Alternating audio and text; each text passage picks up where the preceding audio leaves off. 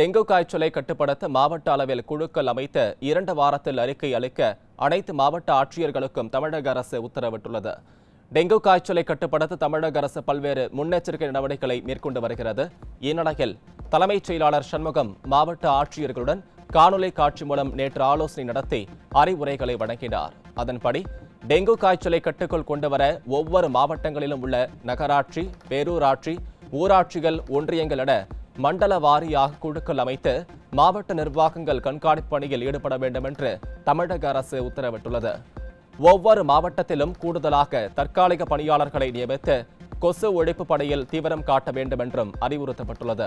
மேலும் பள்ளி மாணவர்களை தூதுவர்களாக நியமிக்க ஆசிரியர்களுக்கு அதற்கான பயிற்சிகள் வழங்கப்பட வேண்டும் என்றும் டெங்கு காய்ச்சலை கட்டுக்குள் கொண்டுவர அனைத்து பணிகளையும் மேற்கொண்டு இரண்டு வாரத்தில் அறிக்கை தாக்கல் செய்யவும் அறிவுறுத்தப்பட்டுள்ளது. இது போன்ற முக்கிய வீடியோக்களை உடனுக்குடன் தெரிந்து கொள்ள நியூஸ் ஜே யூடியூப் சேனலை சப்ஸ்கிரைப் செய்யுங்கள்.